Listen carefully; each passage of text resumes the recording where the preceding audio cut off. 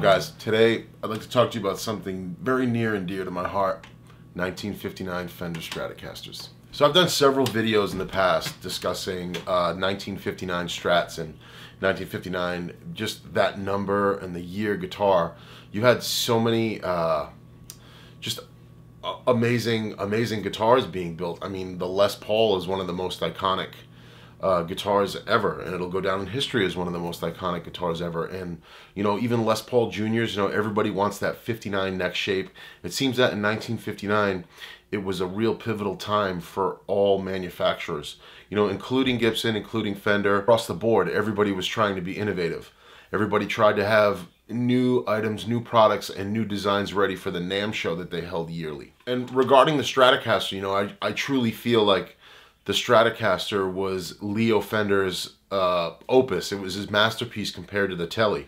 With the inception of the Stratocaster in 54, um, this is a 57, but in 54 you would have had something similar to this. You would have seen an ash body though, uh, still a maple neck, three pickups, two tone functions. You have two tone functions here, a volume function, a three-way switch, and this amazing tremolo, synchronized tremolo system that was designed. You know, really, really uh, adding, almost making a hot rod to the Telecaster. You know, the Telecaster was a slab body shape, no contours. This this Stratocaster now had contours. It had a shape. It looked like, you know, I've heard some people compare it to say it was a spaceship. It looked like a woman. It had beautiful shape.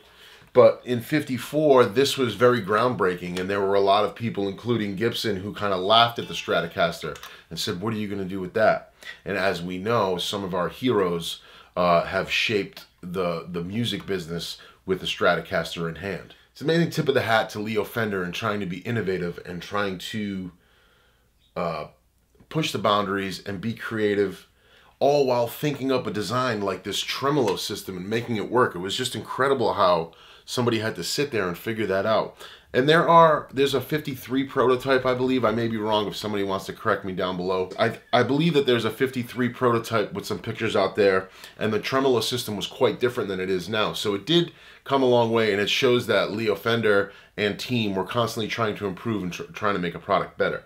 So, uh, like I said, this is a 57, but this is what a 54 Strat somewhat would have looked like. All this wear here, how the the finish just gets easily worn through from playing.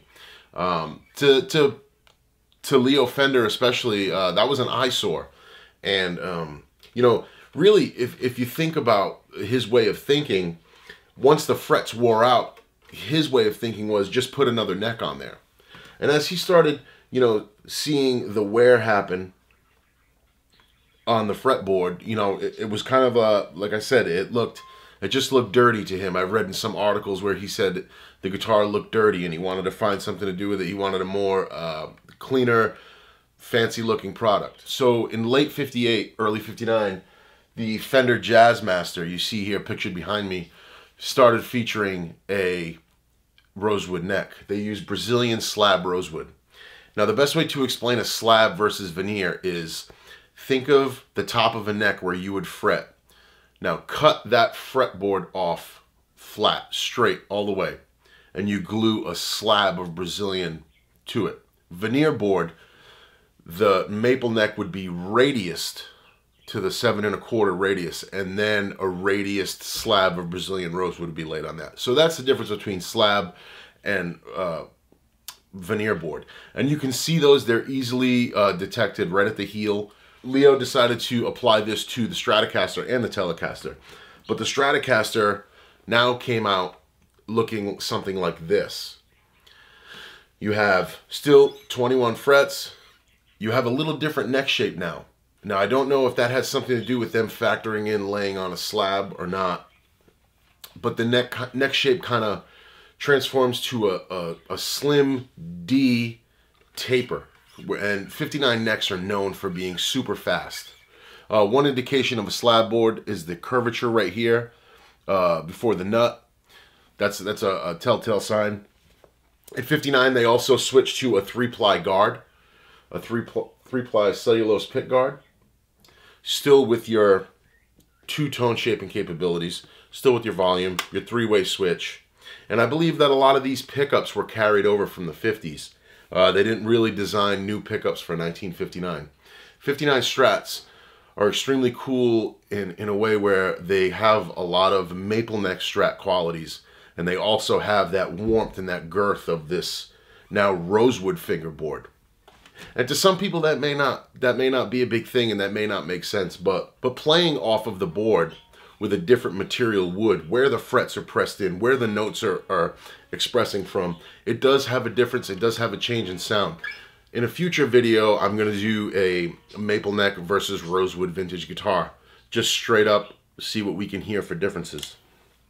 But regarding the 59s and what attracts me to them, it's they're real they really have this comfortability they, they, their neck there is no kind of bulkiness no odd shape. It almost seems like in 59 and early 60 every neck was had the shape. When you put your hand on it you can you can easily say yeah it's a 59 60 neck to me. Now there are other people out there that know way more than me and i am not afraid to accept that and i'm not afraid to give them praise.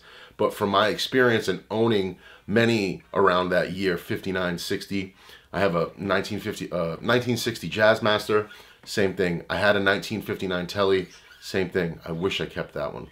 Uh, many 1960 Strats, same shape. Early 1960 and 59 have just that slim, fast D shape. And there were a few subscribers on here that I've met in person and I've had my guitar with me and they've played it and they said the same thing. Wow, the neck is so comfortable and, and quick. It just really it, ju it just allows uh, it allows you to move around with with no restraints. You know, so you could get the 59 Strats in custom colors, uh, white, red, Fiesta red. Now, all th there are many other colors too, but also you'll see a lot of you'll see very few of them in blonde. Blonde was a uh, custom color only used on ash bodies, and you're gonna see here from one of my friends in a little bit. Uh, ultra rare and highly desirable, beautiful looking uh, blonde over ash. But 59 Strats just have a thing, man. They have a real resonance. The To me, the body contours are still thin, thinner like the maple necks. Uh, the necks are quick. The pickups have a real chime to them. You don't get a lot of excess, uh, you know, grit from the pickups. There's not a lot of extra uh, bass and woofiness. They're very clear, crystalline. And I just, I love these guitars. As you can hear how resonant they are too. So I know I kept you guys waiting a little bit on this guitar. Uh, I was posting some videos and doing some playing with it and everybody started asking. This guitar popped into my life out of nowhere and it was almost as, uh, it was almost like a gun to your head, had to make a decision quick. Uh, I, the gentleman that I bought this guitar from, I had been in contact with him earlier on in the year about a fuzz face he had for sale, and that deal didn't pan out. Uh, and then I saw him list this. I saw this on G-Base, and uh, this came up. The price he was asking was uh, this is a refin, by the way. I want to I want to be clear about this. This is not a custom color white. This is a refin 59. But the reason it uh, the reason why I was attracted to this guitar, it's a refin only. I took the original frets out of this guitar. I've refretted it, uh, but it was a refin only, preserved body dates preserved cavities. All of the sunburst is still in the cavities, not painted over, not a sloppy job. Pots, switch, everything is legit. The pick guard was changed because the original, as they do, as the celluloid pick guards did, they shrunk heavily. And over the years, you take these pick guards off to change a volume pot, or you take the pick guard off to even spray the pots out. If you leave it off too long, you'll find that you have some trouble screwing the old pick guards back on. Uh, I do have a pick guard in the works. You know, that'll put this guitar complete. Do I consider it player grade? I don't know. The guitar hasn't had any breaks or repairs.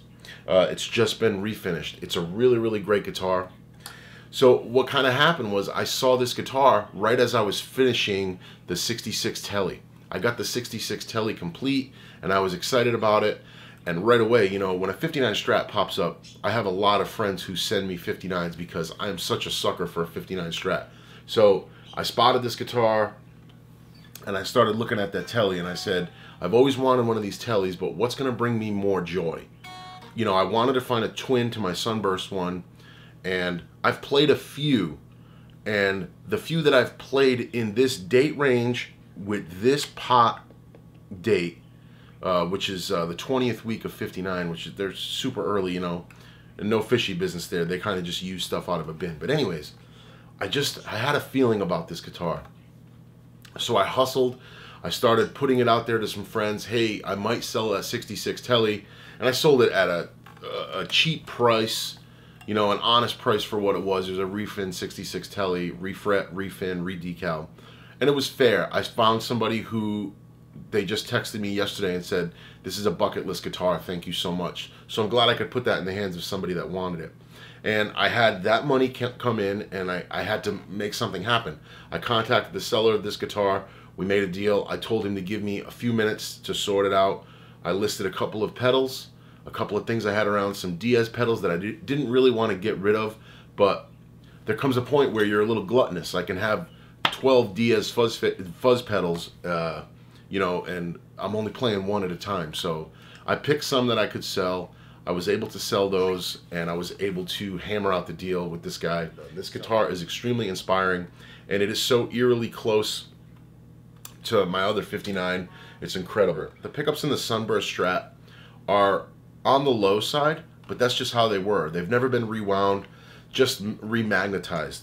Um, you'll see later on in this video that somebody who's going to join us has similar specs in his pickups. My bridge pickup on this guitar, on the Sunburst guitar, is only 4.9K. Uh, I've been told it's probably going to break somewhere or something like that, but it works and it sounds huge.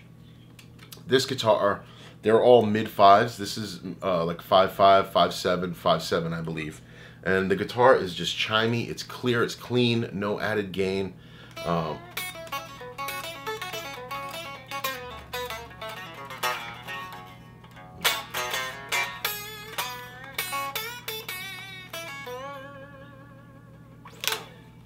I've refretted it with 57 110 jumbo wire and on all of my strats I changed the tuners because the you know spinning those old tuners you're gonna wear them out. So I just put them aside in the box, and um, you know I can I can use these and beat on these. These are a, a new reissue age tuner.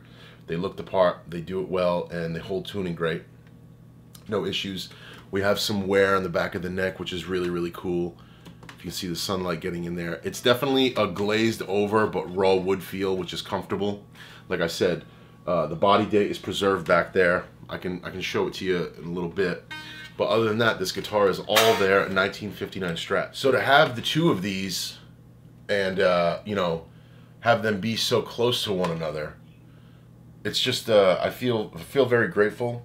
The serial numbers are, this one's 4-5 and this one's 4-2. So they are close, they're in the neighborhood. And, you know, granted, they were grabbing these serial number plates out of bins and installing them. So uh, you can't really go by that fully. But yeah, man, I'm just uh, I'm in love with 59 Strats. I know it sounds funny, it sounds maybe foolish to some people, but 59 is just my year. I know Mike McCready from Pearl Jam is a big fan of 59. I got to see Mike's guitar up close, and I'm a member of the 10 Club. I've seen Pearl Jam, you know, 20, 30 times. Uh, I love Pearl Jam, and, and, and Mike especially, you know, with a 59 Strat. I just feel like this uh, this connection, you know what I mean? Because he's a 59 fan, and I just love 59 guitars. I have a Les Paul Jr. I may have something else coming. Uh, 59s are just great, man. It's that year. It's right before 60. It's still the 50s, but you have this really new new wave inventive kind of thing Leo Fender was doing with this slab rosewood. Being a 59 junkie and being a 59 fan, I've made friends with people who have 59 strats. And, you know, it's a real geeky kind of thing because 59 you have to think that was the year that you could get a maple neck strat and a rosewood strat. That was one year where the Stratocasters you could get two different models. Pretty pretty cool. And uh, I yeah, I've just made friends over the years with people who have 59s, and they're gonna chime in in this video with their 59 strats and tell us a little bit about them. Um, I just you know, it's kind of like a brotherhood in a way. When uh, somebody else has a 59, you kind of instantly know, ah, they know about that unique neck. They know about those those really clean, clear pickups. They know about those guitars. And they were still, you know, Fender in 59 when they were making these slab board Stratocasters and Jazzmasters and even Telecasters, they were still figuring it out. So kudos to Fender and kudos to my buddies who chimed in on this video. I'm gonna send it over to them and have you guys check out their great guitars. Also, there's some great books out there that really focus on Fender around this time because it was a big change and it was something new. It was competition, it was stretching the boundaries, it was designing something new, and uh, it paid off to me, I feel. So a few books I want to uh, mention is this uh, Fender The Inside Story. This is uh, by Forrest White. This is Leo Fender's uh, right-hand man and they really, really discuss what was happening in 59 and the conversion over to the Rosewood necks. It's a great book to have, and this is a real good book with some inside stories about what was going on in the Fender factory back then. Fender, The Sound Heard Around the World, uh, written by Richard Smith. This is a great book. Uh, comes with a, a, DVD with a video inside the Fender factory way back then, also discussing models, different models, and the 59 era, the transition, amps, Telecasters, prototypes, whatever you want to see, it's right here. It's a great book. And this one, the coup de grace, Fender, the golden age. Uh, one of the authors on here, Terry Foster, I've become friendly with him and he's helped me with a lot of uh, purchases. Uh, it's helped me with a lot of advice and info about uh, different models. Terry's a great guy, wealth of knowledge. He's a collector and he's a historian. Uh, and this book is really, this book is incredibly valuable because it really goes into every model and breaks it down and gives you the history. Definitely discussing 59 here, the con conversion over to the to the slab board, uh, fretboard, but just uh, incredible knowledge in here. Tons of pictures in here, tons of photos, tons of history, and it's all factual. So big kudos to Martin Kelly, Terry Foster. I've gotten to chat with those guys. Uh, you need to get this book. This is available on Amazon, and this book is incredible. This is the one right here shameless plug, but uh, if you're into these kind of videos, make sure to like and subscribe. I'd really appreciate that. Thank you. So guys, again, I will be doing more videos playing the white one, maybe versus the rosewood, and then the, the slab board versus the maple neck. The guitar you're hearing in the intro was the white guitar. Uh, it's just got a really chimey, uh, classic Stratocaster sound. But check out these videos from my buddies. I appreciate all of you guys. You guys are like brothers to me, and uh, I'm just glad that I could get your guitars showcased on the channel. We could all check them out, and I hope you guys enjoy. Peace. Hey everybody, Matthew here, and today Nick has asked me to uh, speak to you guys about 1959 Stratocasters and how I came into mine and what makes them special, in my opinion. And uh, I know there's going to be a lot of other very cool people talking about their guitars, some of which I've had the great pleasure to play, but um, honestly, I was never in the market for a 59 Stratocaster. It wasn't like I was searching for one for whatever reason. I did want a Sunburst, an original Sunburst Stratocaster of some kind. Really, um, you know, like Stevie's 63 Strat. That's really what I was looking for. But uh, I came across this guitar one day for sale and it was spray painted silver. It had a couple missing parts. Some of the parts were in the case, uh, which was original, but I could tell what it was. It was basically listed as a, you know, rosewood board vintage Stratocaster. It was priced way too high. And over the about over about a year, I just kind of waited and watched and um, finally got the guitar for a, a, pretty good price. And then I stripped all of that spray paint off, which ultimately left what you see here. And so now I've got my own 59 Stratocaster with the original kind of two-tone burst, which uh, I guess that's a segue into uh, what makes the 1959 Stratocaster special. And I would say there's there's a number of unique features about this model. For one, 1959 was kind of a pivotal year for both Gibson and Fender. Of course, there's the 59 Burst and 335s, which are some of the you know greatest guitars ever made. And then in 1959, Fender went to the slab board necks on their uh, Strats and Telecasters. So that was a, a major uh, change in the construction and the sound of the guitars. But some some unique features that are special about 59s, I think the 50 Stratocaster pickups uh, have a very unique sound. They did change into the 60s, and um, I think some of the greatest tones I've ever heard come from 50 Stratocasters. Uh, this guitar specifically is also super light, which is a characteristic of a lot of 50s guitars. Of course, there's some outliers, but many that I've uh, played or owned um, were extremely light. This weighs close to seven pounds fully loaded. And then also what's cool about 5960 Stratocasters in Sunburst is that the red dye that they used for, you know, this uh, other layer of the Sunburst, uh, much like the um, Les Pauls of the time period, the red dye would fade away very quickly and then it turns into just this two-tone burst. So a lot of 59 and, and 1960 guitars have this exact look.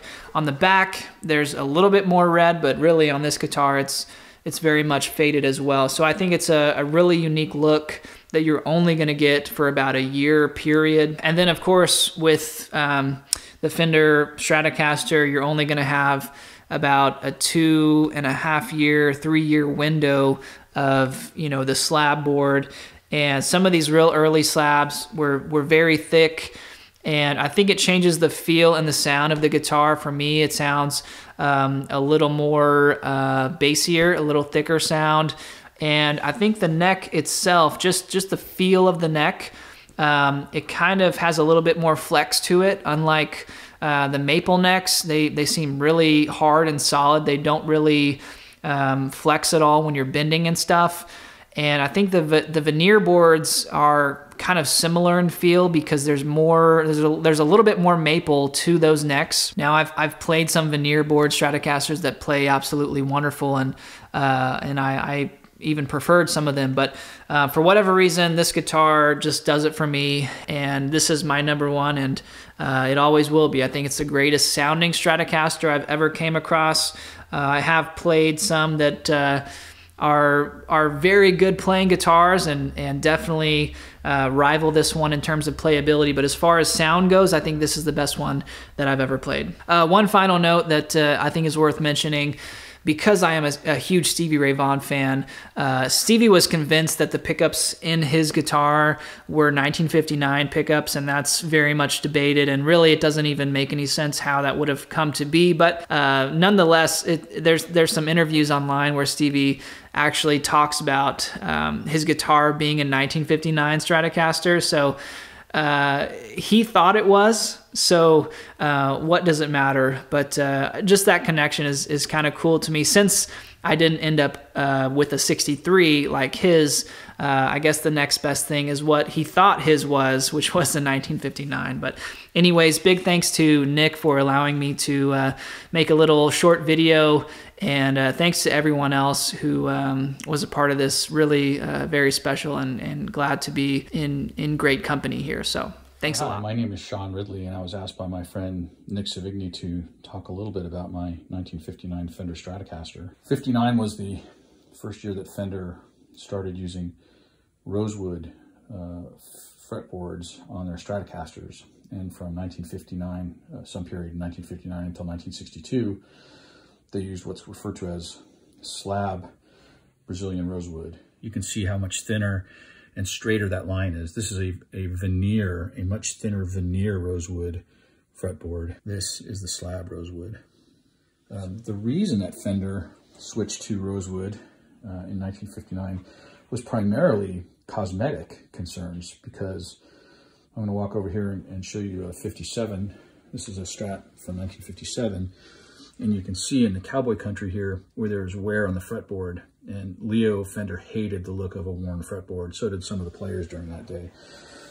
And Leo assumed that, you know, if this fretboard got worn, that players would just unbolt it and get another neck and put it on there.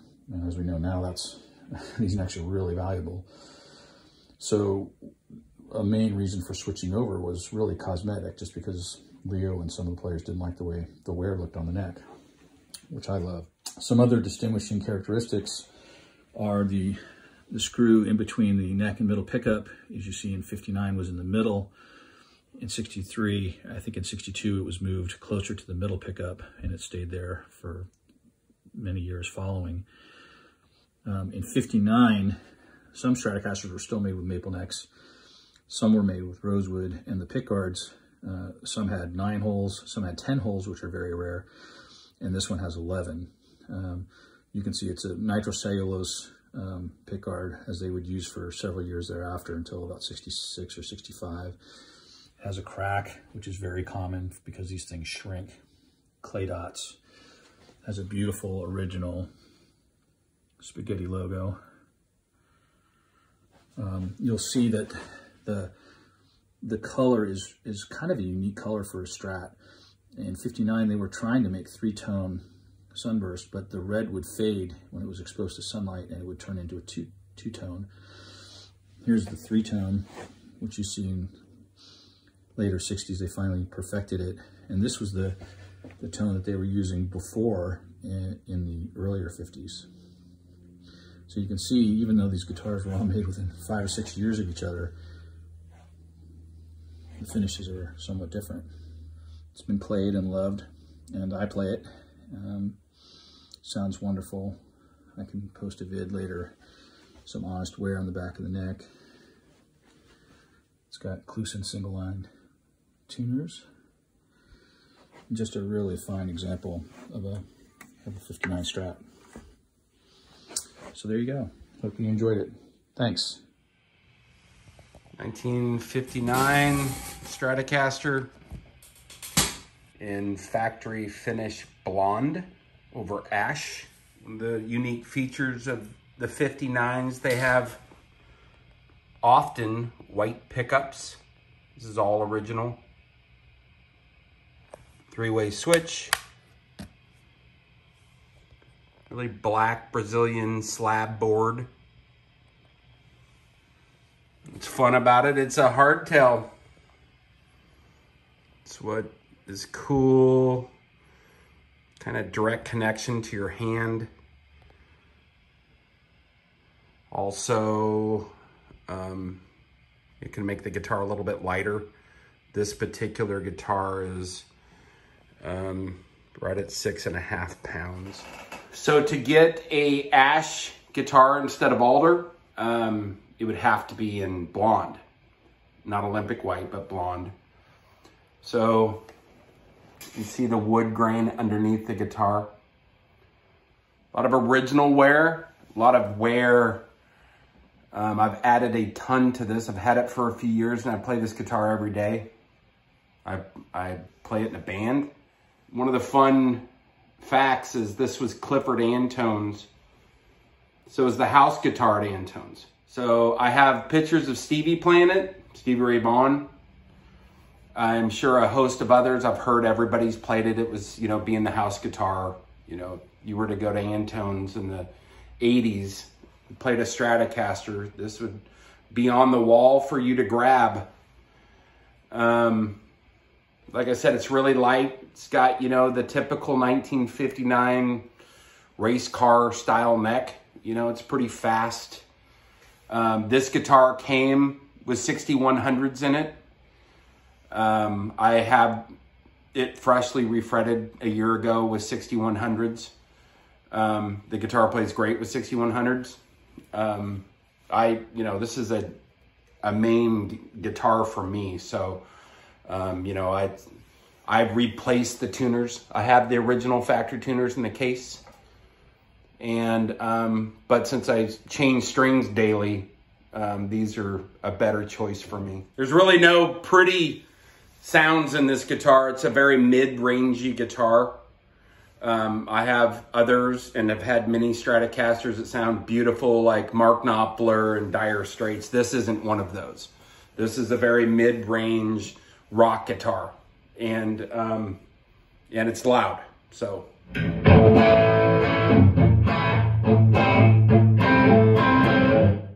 The bridge, you know.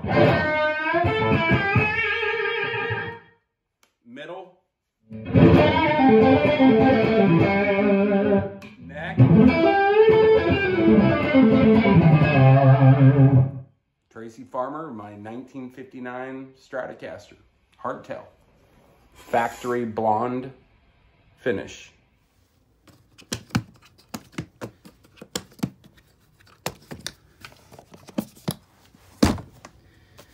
There she is. December 59, 40376.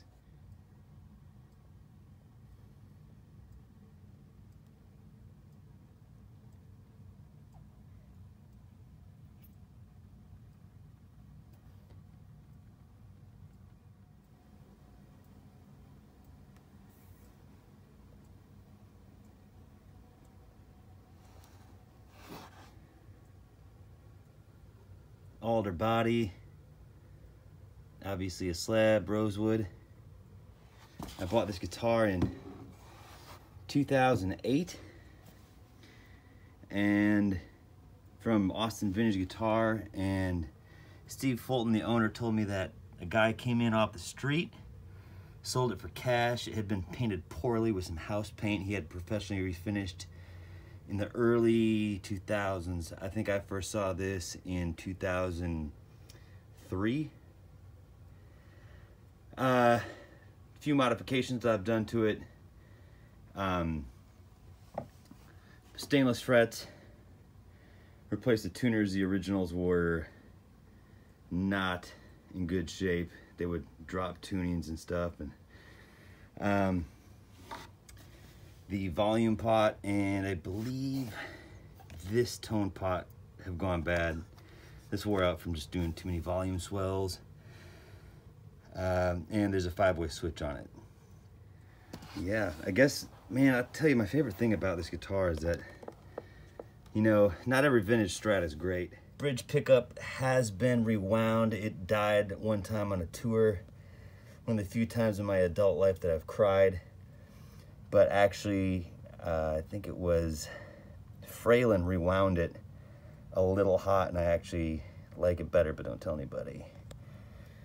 Uh, one thing specifically about this Strat is that the neck pickup reads about 4.9. It's very low output but it sounds absolutely incredible. So there she is. All right, love you, Nik. Talk to you later. Uh, I was literally filming something else. FedEx just showed up, so this is really cool. I want to get this open on video. This motherfucker. Okay. You'll be seeing this the minute I do. Oh, damn.